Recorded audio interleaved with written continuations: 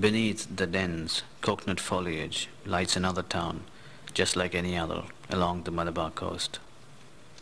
There is nothing special about this town except for the little structure with a golden roof. This little temple transforms the town into the spiritual capital of the entire state of Kerala.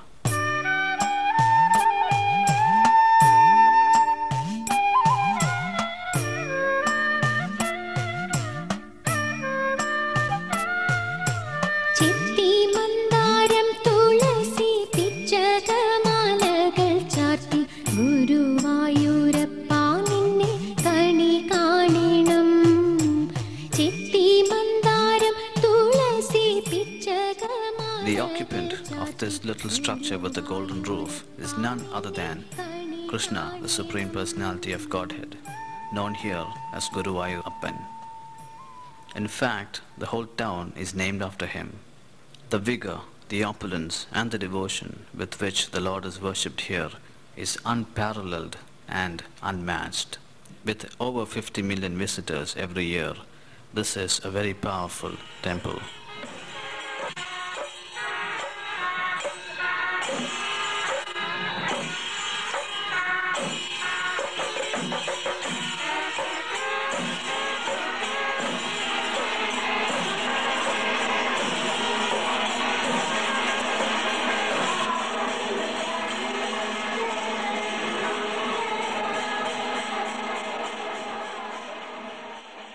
Guruvayur is the seat of Krishna Bhakti in Kerala.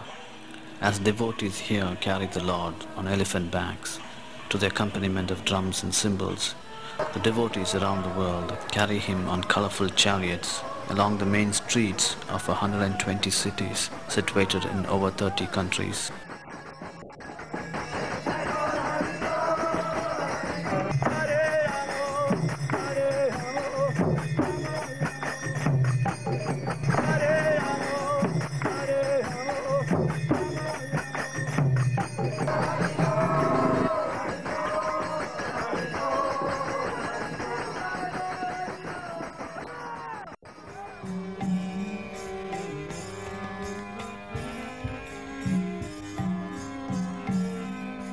With over 400 centers in over 120 countries, this is the largest Vedic movement in the world.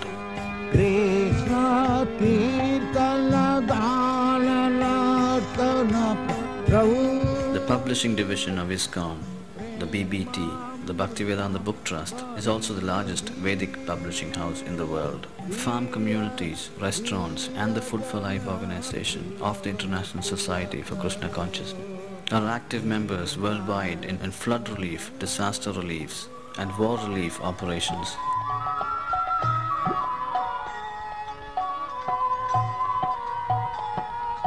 Hare Krishna Hare ISKCON in India has spectacular success stories. The grand temples in Delhi, Bangalore, Bombay, Mayapur, Vrindavan, etc. are major places of worship today.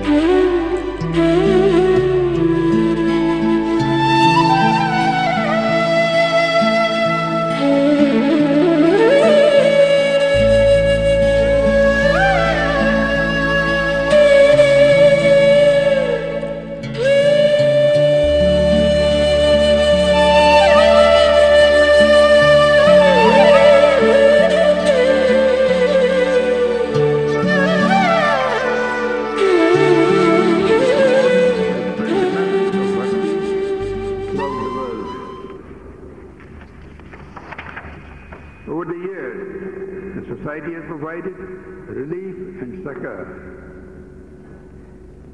and has brought peace and harmony into the lives of millions of people. It has grown and flourished in many countries and continents. On the occasion of the birth centenary, as the founder of ISKCON, Sri Bhaktivedanta Swami Prabhupada, I pay my tribute to this enlightened soul. Prabhu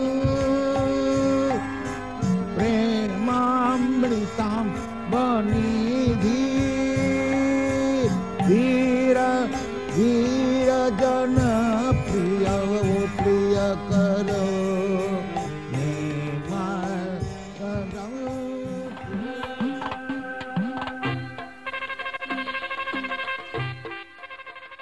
The ISKCON is happy to announce its project in Guruvayur on a three acre plot very close to the Guruvayur temple at the Mammiyur junction.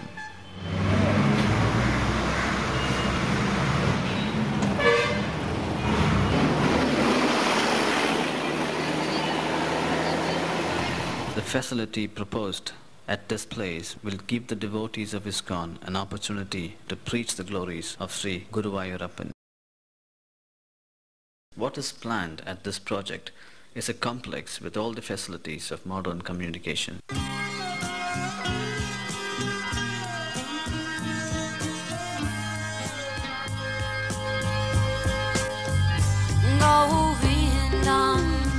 Adi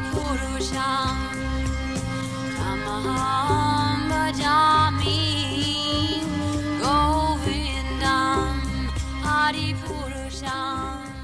The most attractive feature of the complex will be Harinam or Sankirtan every day, a complete preaching facility that complements the Guruvayur temple.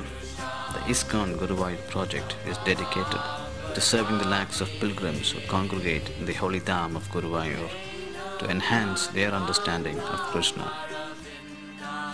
In the olden days, only kings could do great services to deities. Today, ISKCON is arranging facilities so that every one of us can get involved in wonderful projects that glorify the Supreme Personality of Godhead. An activity with far-reaching consequences and with inconceivable benefits. This will be the ultimate humanitarian service to the people of Kerala.